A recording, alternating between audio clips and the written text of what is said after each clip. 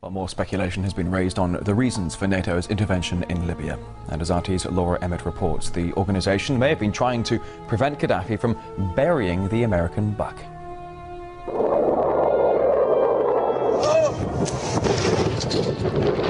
According to some, it's about protecting civilians. We must not tolerate this regime using military force against its own people. Others say it's about oil. The only reason they're interested in, with Libya is about the oil. You'd think we'd be in Iraq if the major export there was broccoli?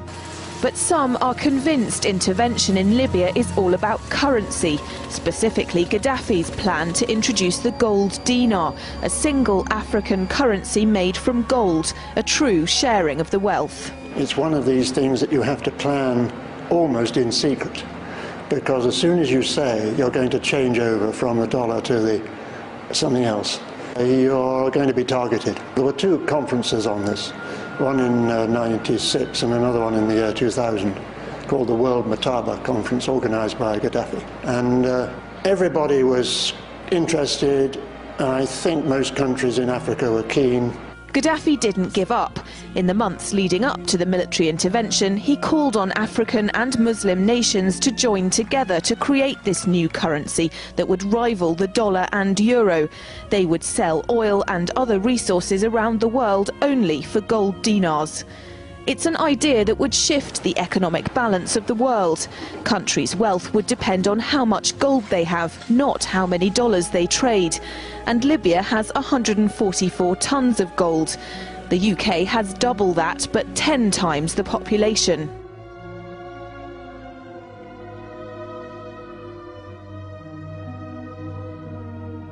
I do have one question. During the crisis or any time that you're aware of, uh, has the Federal Reserve or Treasury participated in any gold swaps arrangements? Uh, we don't, the Federal Reserve does not own any gold at all. We have not owned gold since 1934. Um, uh, we don't, the Federal Reserve does not own any gold at all. We have not owned gold since 1934. The Federal Reserve does not own any gold at all. If Gaddafi uh, had an intent to try to uh, reprice his oil or whatever else the, uh, the country was uh, selling in the global markets and accept something else as a currency or maybe launch a gold dinar currency, any move such as that would certainly not be welcomed by the power elite today who are responsible for controlling the world's central banks. So so yes, that would certainly be something that would cause his immediate dismissal and the need for other reasons to, uh, to be brought forth for removing him from power. It's happened before. In 2000, Saddam Hussein announced Iraqi oil would be traded in euros, not dollars. Sanctions and an invasion followed. Some say because the Americans were desperate to prevent OPEC from transferring oil trading in all its member countries to the euro. The UK's gold is kept here in a secure vault somewhere in the depths of the Bank of England. As in most developed countries, there's not enough to go around. But that's not the case in places like Libya and many of the Gulf states. A gold dinar would have given oil-rich African and Middle Eastern countries the power to turn around to their energy-hungry customers and say, sorry, the price has gone up and we want gold. Some say the US and its NATO allies literally couldn't afford to let that happen. Laura Emmett, RT, London. President Obama unequivocally putting Muammar Gaddafi on hold in a phone call to German Chancellor Angela Merkel. The president said Gaddafi was using mass violence as his only means of staying in power, that Gaddafi had lost legitimacy, and for the first time, that Gaddafi should leave now. And late last night, the White House rolled out new sanctions against Libya, blocking bank accounts and freezing the assets of Gaddafi, his regime, and Senior and, and his children. President had held back on calling for Gaddafi to step down until U.S. citizens were safely out of the country. Today, the president intensified the pressure. Russ. Joel Brown at the White House. Well, right now, diplomats the world over are scratching their heads on how to manage the situation in Libya. And on top of sanctions, Colonel Gaddafi now faces the possibility of a no-fly zone over his country. British Prime Minister David Cameron said he would work with his allies on preparations for such a plan and would not rule out the use of military assets. At the same time, the United States is also repositioning its naval and air forces around Libya. The BBC's diplomatic correspondent James Robbins is following that part of the story. These extraordinary pictures, apparently from the town of Misrata, suggest the scale of violence in parts of Libya as ground is fought over. These images are thought to come from the same town, as Colonel Gaddafi's regime is squeezed both by the scale of rebellion and increasing global pressure on him to give up now. First, the diplomatic pressure. How are you? How are you? In Geneva, foreign ministers focused on newly announced European Union sanctions. They're important because 85% of Libya's energy exports are to Europe. Hillary Clinton said no military action was pending, but at Westminster the Prime Minister made clear the option of enforcing a no-fly zone over Libya is being worked on. We do not in any way rule out the use of military assets. We must not tolerate this regime using military force against its own people. And in that context, I've asked the Ministry of Defence and the Chief of Defence Staff to work with our allies on plans for a military no-fly zone.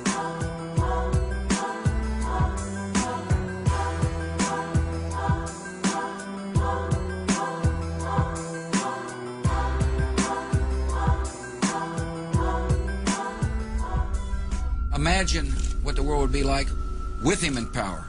The idea is to try to help change the Middle East. Now, look, I did, part of the reason we went into Iraq uh, was uh, the main reason we went into Iraq at the time was we thought he had weapons of mass destruction. It turns out he didn't, but he had the capacity to make weapons of mass destruction. But I also talked about the human suffering in Iraq, and I also talked the need to advance a freedom agenda.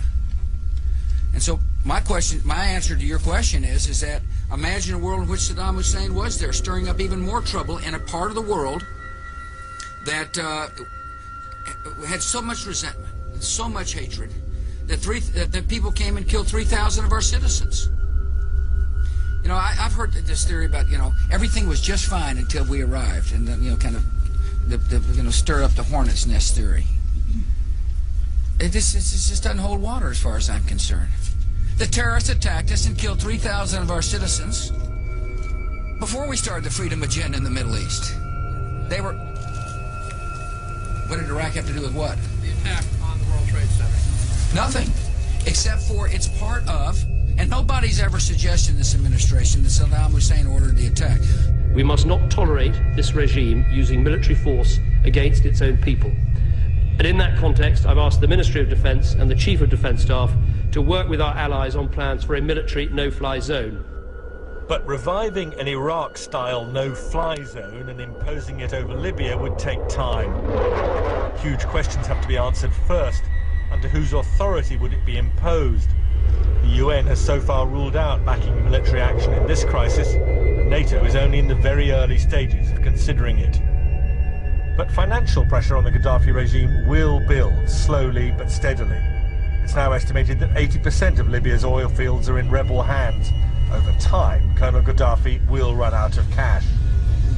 It's fundamentally important. There really is nothing else in the economy apart from oil, um, which is why I think that, that the, the international oil companies will be invited back by the, by the next regime when it takes over. The greatest pressure on Colonel Gaddafi is internal, from his own people. He's lost large parts of his country to the rebellion, with the east of the country fully in opposition hands. Libya's second city, Benghazi, was the first to fall. There's been fierce fighting at Misrata, particularly to control the airbase. There are towns outside Tripoli which remain in the hands of Gaddafi loyalists, including Sirte, Colonel Gaddafi's birthplace. But the focus is still on the capital itself. Tripoli is home to around 1.7 million people out of a total population of 6.4 million. And it's still the command centre for up to an estimated 10,000 armed forces thought to be loyal to Gaddafi. Libya's Colonel Muammar Gaddafi has warned that his people will fight back if world powers try to enforce a no-fly zone over the country's skies. Gaddafi told Turkey's TRT channel that the West only wanted to take action so it could seize control of Libyan oil. He also claimed that if he stepped down, it would leave a power vacuum to be filled by Al Qaeda. We are the ones preventing Al Qaeda from taking control, he said. They would drag the whole region into chaos.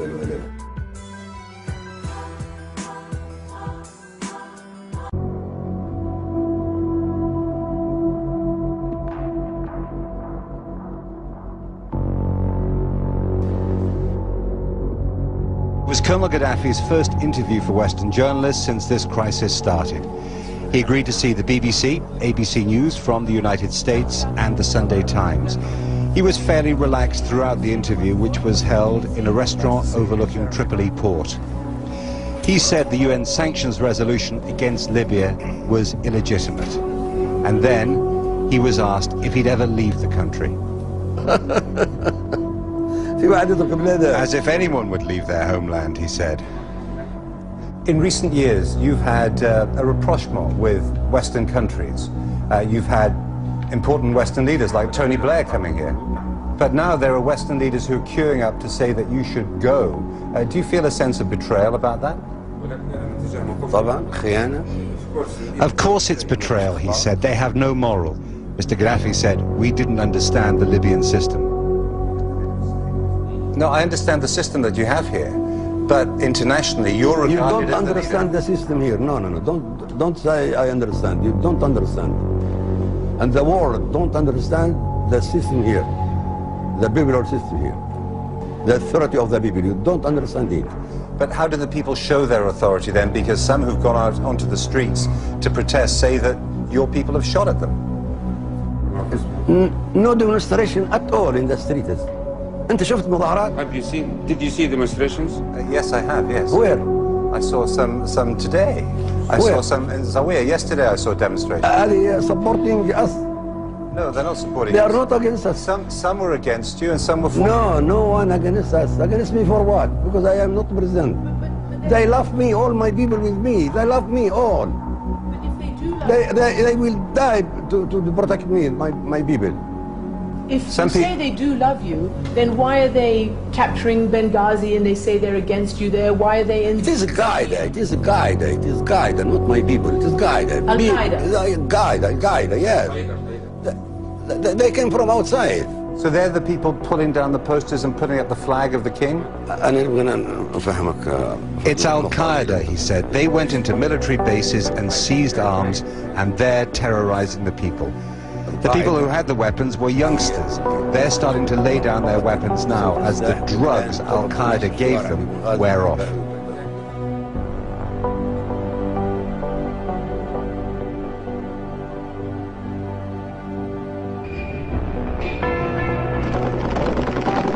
Even bin Laden's displays of strength for the Western media were faked.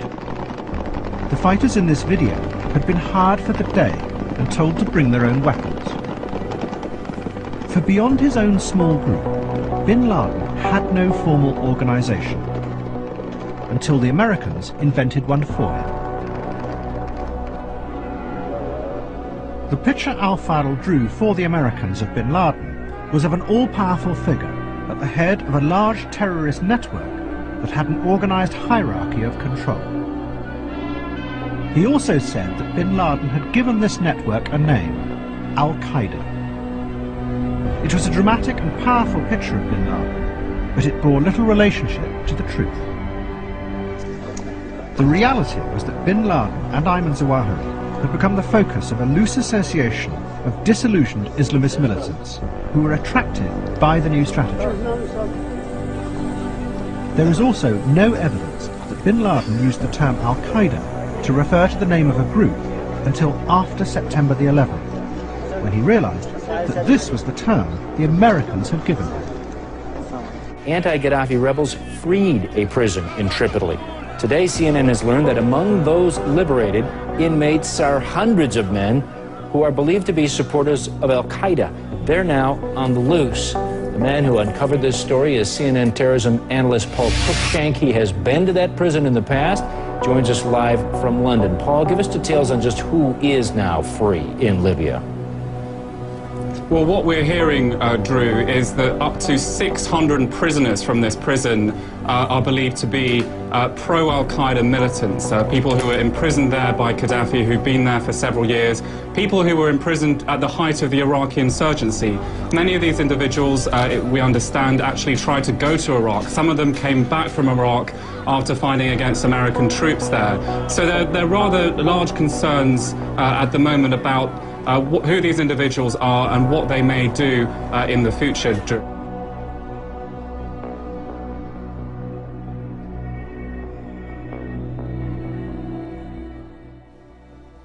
US President Barack Obama called on Muammar Gaddafi to stop the bloodshed and fighting in Libya as rebels and forces loyal to him continue to clash on Monday. Although it's clear that Gaddafi's rule is over, he still has the opportunity to reduce further bloodshed by explicitly relinquishing power to the people of Libya and calling for those forces that continue to fight to lay down their arms for the sake of Libya. While rebels searched Tripoli for Gaddafi, some forces loyal to the autocratic leader fiercely continued the fight.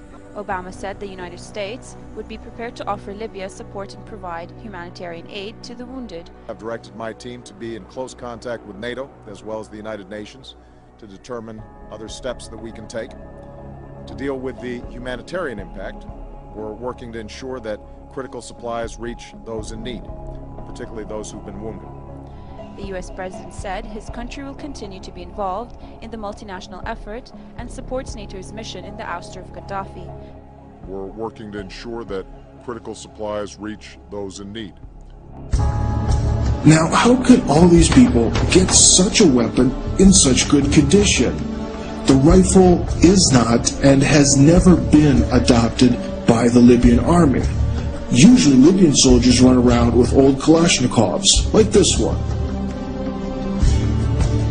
This means that the rebels could not get all of those FN FAL rifles from military storage points, and they certainly couldn't buy them in a store. So the question is, where did they get them from? And even more importantly, how could they get the enormous amounts of ammo needed for the rifles when Gaddafi didn't have them? Libya's cash-starved rebels got a much-needed boost. Nations here signing off on promises of more than a billion dollars of aid. But it's not just money the rebels want from the international community. We are asking countries to recognize the Transitional National Council as the legitimate and sole representative of the Libyan people. As you can see, these are U.S. machine guns chambered for NATO rounds. And again, they're absolutely brand new, right out of the box. Normally, machine guns don't come with their own instructors to teach you how to use them. Libya's cash-starved rebels got a much-needed boost. Nations here signing off on promises of more than a billion dollars of aid. But then again, machine guns alone don't win a revolution. You need something with some real firepower. And well, here's something. This is an MANPADS man-portable air defense system. Each one of these costs big money on the black market and requires a qualified professional to maintain them. And so that's why we can see an instructor here. The guy teaching the Libyans to manage this high-tech device sure doesn't look like one of them, does he? And here we can see a Joker running around with a U.S. Army pistol and a NATO Kevlar combat helmet. Now, how could he get all this? From Gaddafi's military storage? Come on. Okay, this crate is American and brand new. I think you could realize that by now. Well, we can see a lot of brand new NATO weapons. Foreign instructors, American ammo, new uniforms and equipment, and a uh, suspiciously large amount of non-Libyan mugs. Do you know what this looks like? You're absolutely right. It definitely looks like a well-organized coup from abroad. The foreign managers have brought the people, provided the brand new weapons, instructors, and equipment, all to the young people in Libya. Naive young people who work for free drugs, dope, and just the rush of being a revolutionary.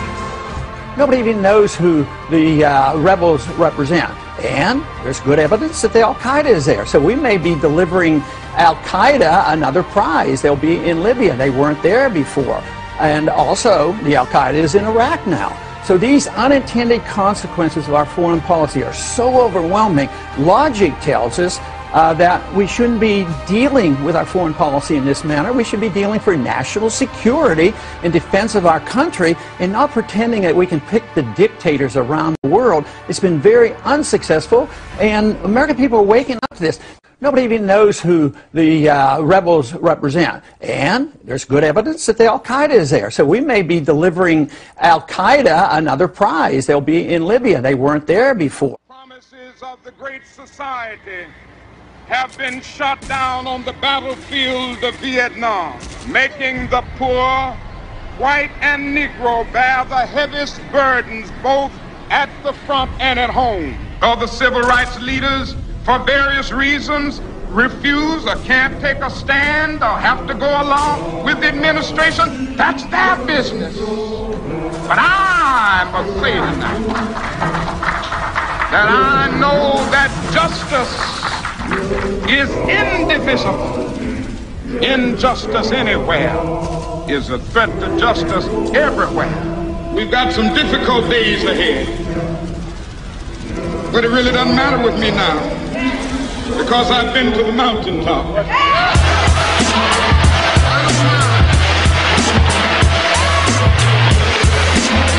Like anybody, I would like to live a long life. Longevity has its place. But I'm not concerned about that now. I just want to do God's will.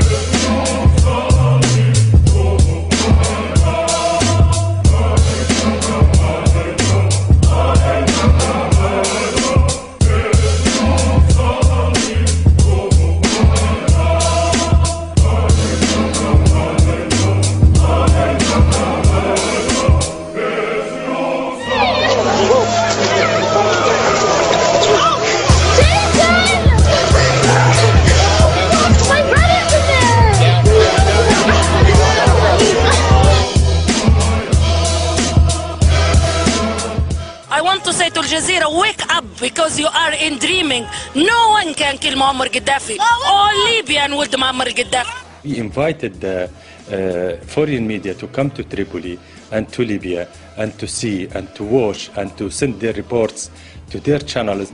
We noticed that the administration or management of their channels uh, selected what they want from these reports and eliminate or delete what, they, what does not serve their purposes. Which is why people here are angry. Mohammed's taken a few days off from his work as an engineer to join the throngs of Gaddafi supporters in downtown Green Square. They're hiding this. They're hiding this. Well, what's what's going on now? Okay, all the people are here. Just, of course, yes, just to be supportive for our leader Muammar Gaddafi. Okay, and they want to hide this. But, say analysts, it's not just what's being hidden, it's also what's actually being said. What we're getting is a pro-U.S., pro-Pentagon, one-sided picture of a, a situation which fills the media with the idea that there's freedom fighters involved in Libya and that there's a government regime that's been an, an atrocious terrorist government for the last since 1970, roughly. This is nonsense. Here, the Jazeera, you say I'm not in Tripoli. Maybe I'm in Afghanistan. Maybe I'm in Iraq. The war is clearly not in Tripoli. And just as clearly, Western media has been a little too quick to write off Gaddafi. Paula Slier, RT, Tripoli. The coalition said destroying Gaddafi was not their goal. Then why bomb his palaces? Now some officials have claimed that eliminating him was in fact their goal. Who gave them that right? Did he have a fair trial? Returning to the no-fly zone, the bombings are destroying the country's entire infrastructure. When the so-called civilized world uses all its military power against a small country destroying what's been created by generations, I don't know if that's good.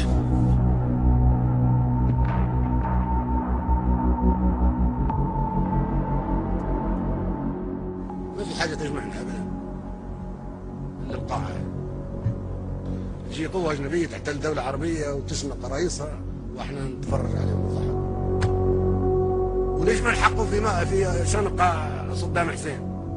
كيف يصير حرب يشنق لا تتكلموا عن سياسة صدام حسين. والخلاف معاه سياسي ممكن كنا مختلفين سياسيا معاه مختلفين حتى مع بعضنا نحن الآن. قيادة عربية بالكامل تقتل تشنق في المشانق ونحن نتفرج لماذا؟ ما ممكن الدور جاي عليكم كلكم. نعم ليش أمريكا قاتلت مع صدام حسين ضد الخميني. كان صديقها تشيني كان صديق لصدام حسين. رامي السلي كان وزير الدفاع الأمريكي لما كان يدمروا في العراق. صديق حميم لصدام حسين. وأخيرا باعوه. شنقوه حتى أنتم أصدقاء أمريكا. نحن أصدقاء أمريكا. بلاش نقول أنتم. نحن أصدقاء أمريكا. قلنا قد توافق أمريكا على شنقنا في يوم ما إحنا شو للأسف الشديد إحنا أعداء لبعضنا. إحنا كلنا نكره بعضنا ونتخاصم مع بعضنا ونكيد لبعضنا ونشمت في بعضنا ونتآمر على بعضنا.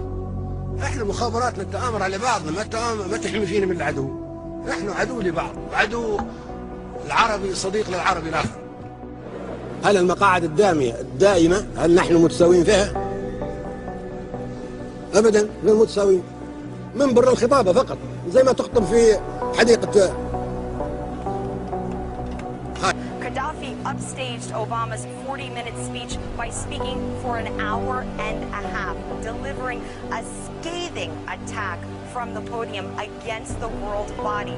It was as if fireworks went off. Seriously, what he said was that um, the UN, the world body, has failed to intervene or prevent 65 wars since the inception of the UN in 1945. Now, as Gaddafi spoke from the podium, he was podium. He was holding uh, a copy of the UN Charter in his hands, waving it ferociously, and he was saying that this the UN right now is not a de democratic institution because it's really the Security Council that holds the power, particularly five veto-wielding members of the Security Council that hold the power.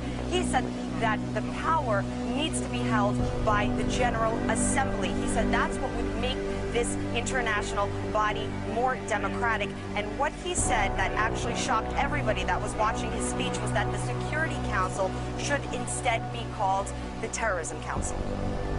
And we should not accept any resolution taken by the Security Council according to its uh, uh, composition right now. We, we, we were under trusteeship, we were colonized, we are independent, and now we are here to decide the future of the world in a democratic way that will maintain world and peace security. All people, small and big, are, are equals. This is terrorism, like the terrorism of the Qaeda. This is uh, terrorism. This is in full contradictions and full intervention of the United Nations charters, and we signed that. And unless we do things uh, in the charter of the United Nations according which we agreed, otherwise we, we, we, we don't uh, speak diplomatically, we are not afraid, we are don't everything, and uh, we were not being nice to anybody. We, now we are talking about the future of the.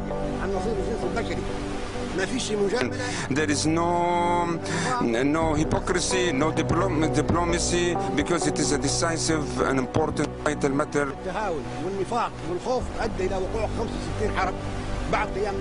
Of understanding and uh, hypocrisy created to 65 wars after the establishment of the United Nations.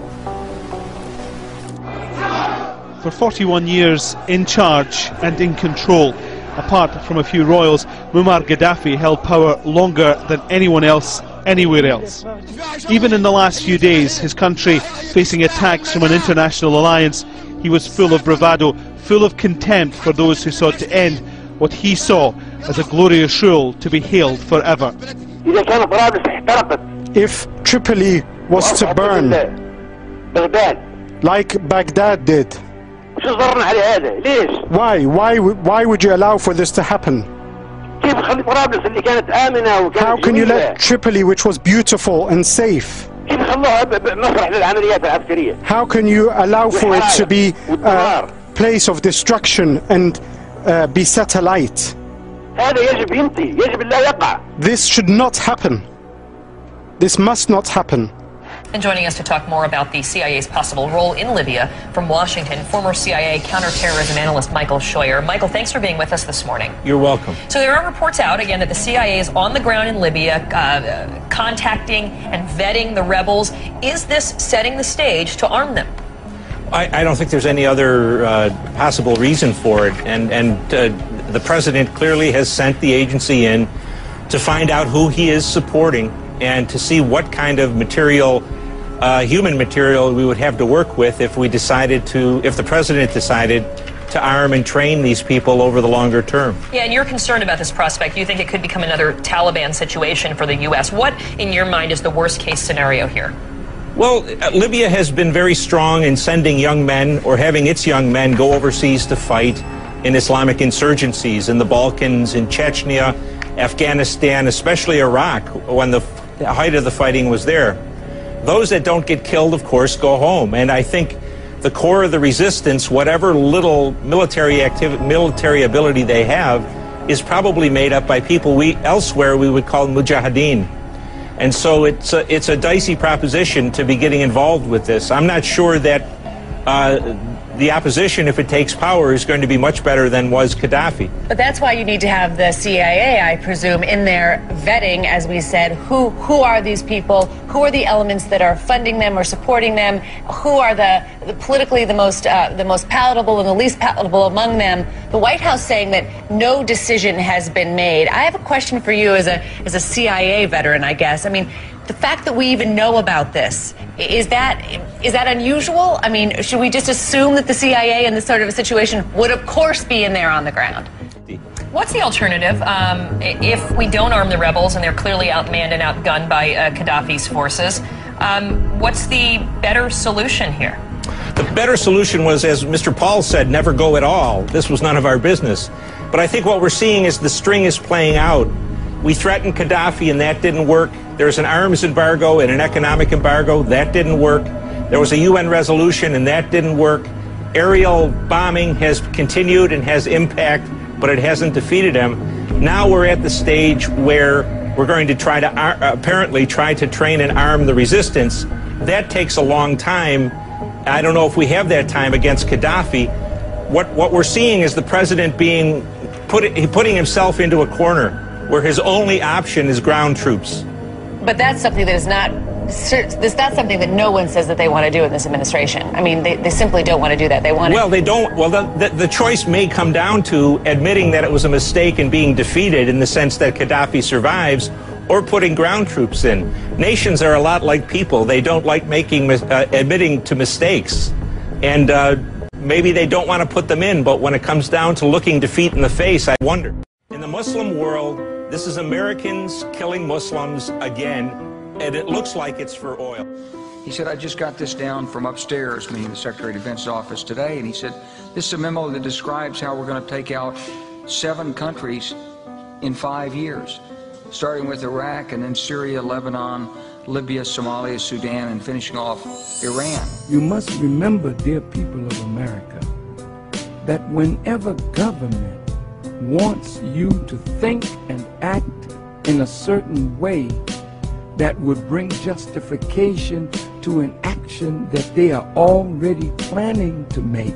They must make the person that they hate a boogeyman. يعني يجاوبون على على السؤال اللي حاير لماذا العراق؟ شو سبب بن لادن عراقي ما هو عراقي اللي يضربوا نيويورك عراقيين ما هم عراقيين اللي يضربوا البنتاغون عراقيين ما هم عراقيين في أسلحة دمار شامل عند العراق ما عندنا Dom has perfected the game of cheat and retreat and is very skilled in the art of denial and deception. This is a regime that has already used poison gas to murder thousands of its own citizens on Saddam Hussein's orders. This is a man who has attacked his neighbors twice, who uh, represses his own people. He used uh, chemical weapons both against the Kurds and against the Iranians during the 1980s. Who is continuing to develop weapons of mass destruction. He's launched ballistic missiles against four of his neighbors over the years. Who's tried to assassinate a former American president. This is a man of uh, great evil. يد عربية بالكامل تقتل تشنق في المشانق بعد تفرج لماذا؟ وممكن الدور جاي عليكم كلكم إيه نعم. ليش أمريكا قاتلت مع صدام حسين ضد الخميني؟ كان صديقها.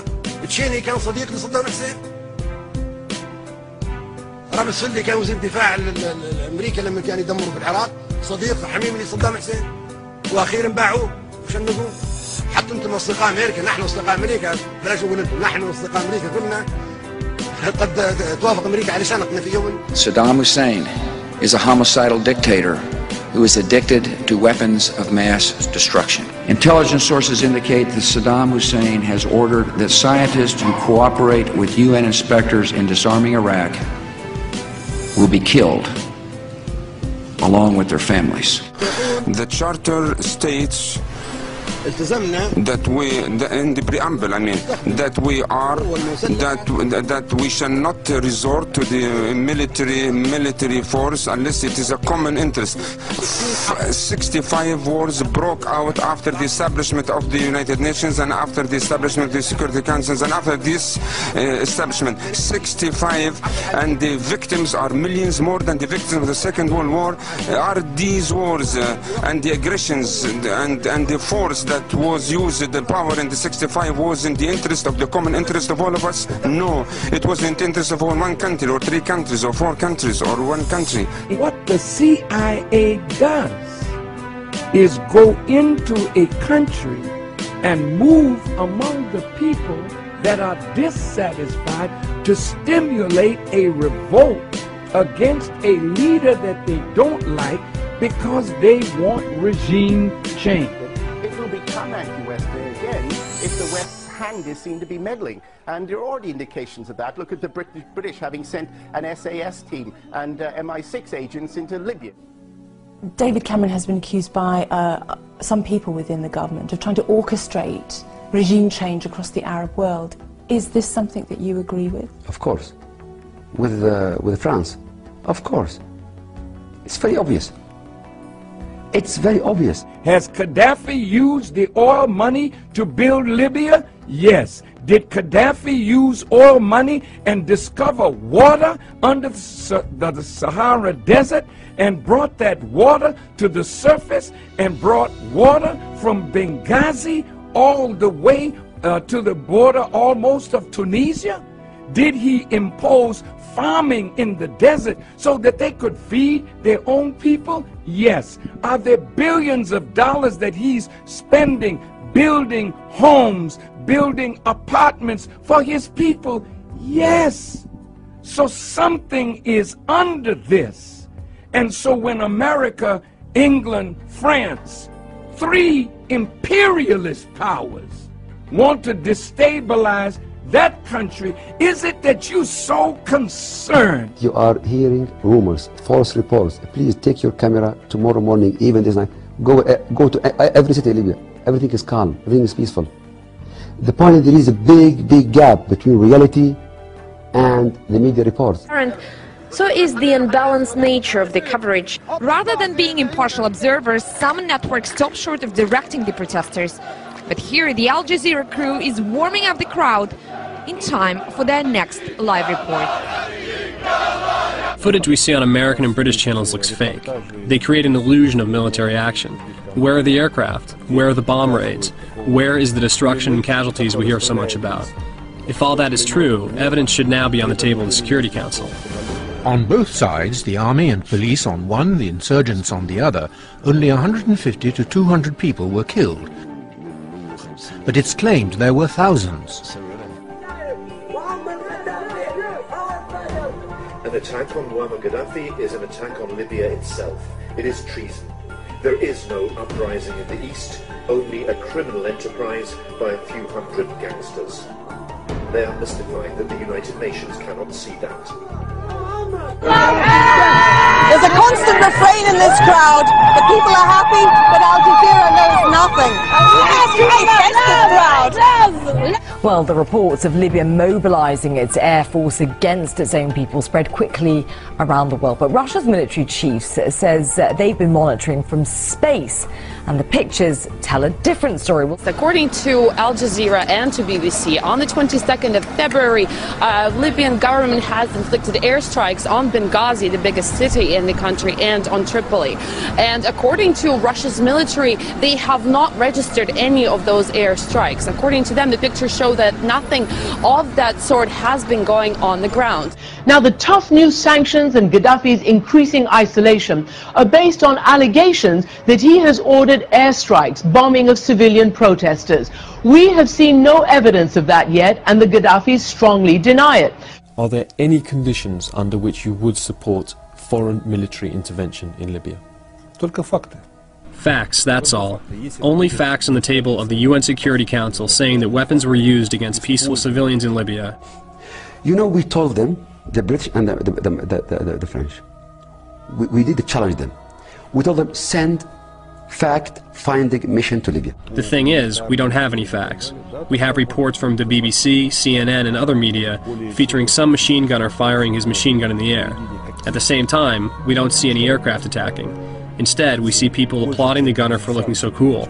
If there were a real aircraft attack in progress, they wouldn't be applauding. The U.S. has reportedly asked Saudi Arabia if it can supply weapons to the rebels in Benghazi. The Saudis have been told that opponents of Gaddafi need anti-tank uh, rockets, mortars, and ground-to-air missiles to shoot down Gaddafi's fighter bombers. We say we're concerned about things happening in Libya. Please note the following. The North African cell of Al-Qaeda is also concerned about what's happening in Libya. Do you think that's a coincidence? Army. Americans themselves have estimated that Libya, especially the eastern part of the country, which is where the rebels have reportedly gained control, is where is is home to a large number of jihadists. They make up a fifth of world jihadists. It's enough to say that one of the uh, rebel leaders in northeast Benghazi was once Osama bin Laden's personal driver. The question here is whether the U.S. is going to end up putting weapons in the hands of radicals and destabilizing the region even more. Anti Gaddafi rebels are growing more confident and are now focusing on capturing Tripoli. With God's will, we will win. We're going out today for this tyrant and Zionist. With God's will, it will be his last day. This man has been investing in African development. This man has been moving throughout Africa. This man has friends all over the world. He may not be your friend, but if you take him out and kill him like he's some rotten fella that wants to kill his own people, what did you do in Waco? What did you do when your people rose up? Did you talk them out of it? No. They had weapons, you bombed them. What did you do in Philadelphia with the Move movement? Did you talk them out of their home or did you bomb them? Let, let, let me focus on initially the issue of Libya. I want to talk about the substance of Libya because there's been all kinds of noise about process and congressional consultation and so forth. Let, us talk about concretely what's happened. I spoke to the American people about what we would do. You also took an oath. Remember? You solemnly swore to preserve, protect, and defend the Constitution of the United States. I, Barack Hussein Obama, do solemnly swear that I will execute the, The office United of President of the United States faithfully and will, to the best of my ability, preserve, protect, and defend the Constitution of the United States. You actually took it twice. Remember? You swore, you solemnly swore that to the best of your ability you would preserve, protect, and defend the Constitution of the United States. I, will Barack Hussein Obama, do solemnly swear that I will faithfully execute the office of President of the United States and will, to the best of my ability, preserve, protect, and defend the Constitution of the United States. We have done exactly what I said we would do. Except, of course, the most important thing, your oath of office, where you solemnly swore to uphold the Constitution. And before the election, you told people that you would uphold it. You answered a question about this very thing, about presidential war powers. So, a lot of this uh, fuss is politics. Fuss. It's our Constitution. We were warned of exactly this abuse of power by the father of the Constitution. Madison wrote how the U.S. Constitution was deliberately designed to prevent a president from doing what Obama has done. In no part of the Constitution is more wisdom to be found than in the clause that confides the question of war or peace to the legislature and not to the executive department. Our Constitution was clearly written to prevent Obama from doing what he explicitly promised us he wouldn't do if we trusted him with the responsibility to preserve, protect, and defend the Constitution. And, and this suddenly becomes the, the cause celebre for some folks in Congress? Come on. This guy should be impeached.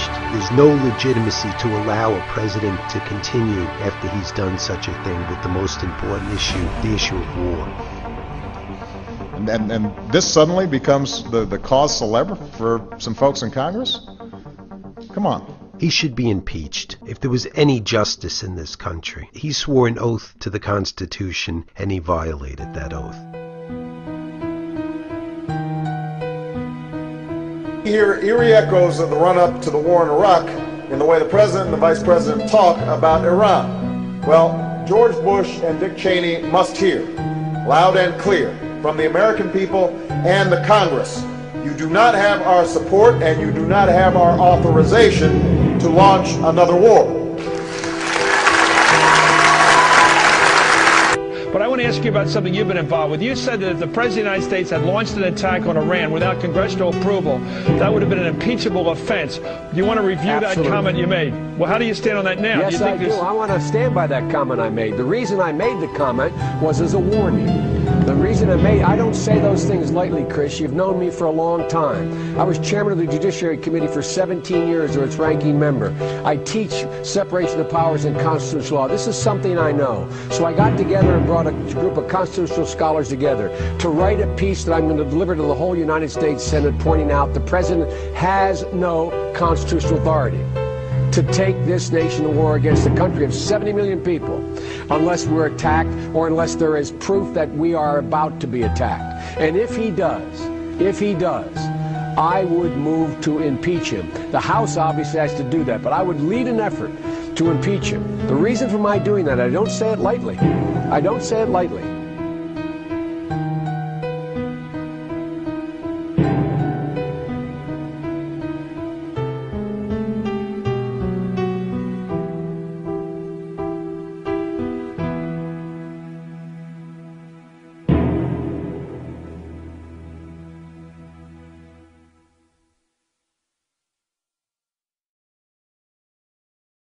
Just leave us alone. Well, I'm not going to leave you alone.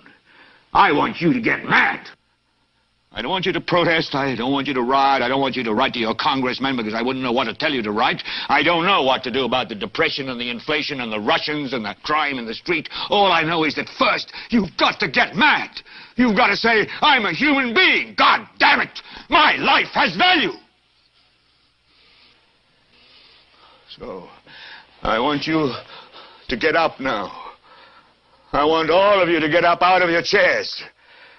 I want you to get up right now and go to the window, open it, and stick your head out and yell, I'm as mad as hell, and I'm not going to take this anymore!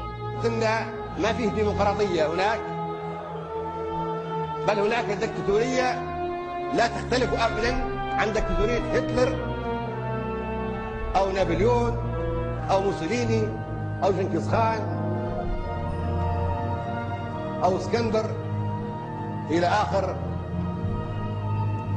الطغاة. انتخابات أمريكية. طلع مواطن أسود أصله من كينيا أفريقي ومسلم وكان يدرس في مدرسة إسلامية في إندونيسيا.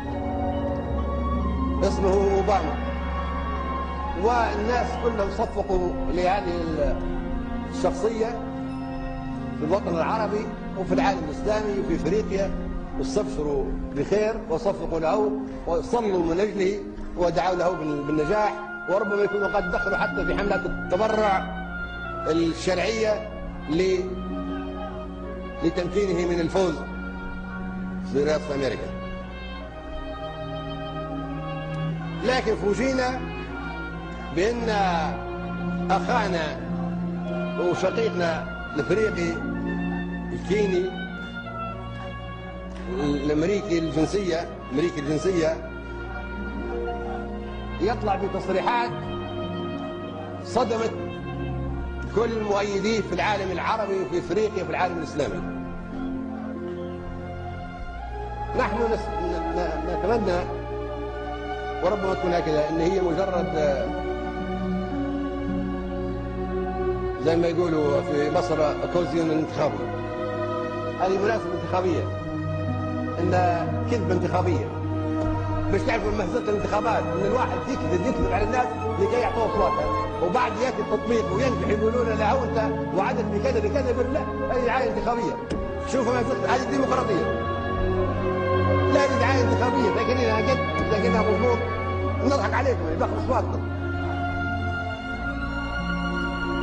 إن شاء الله هي تكون هكذا مجرد دعاية انتخابيه لكن كونك هو يقول ان القدس سأعملها عاصمة إلى الأبد للاسرائيليين هذا يدل على أنه هو إن أخانا أوباما يدخل السياسة الدولية وهو مطلع على ملف الصراع في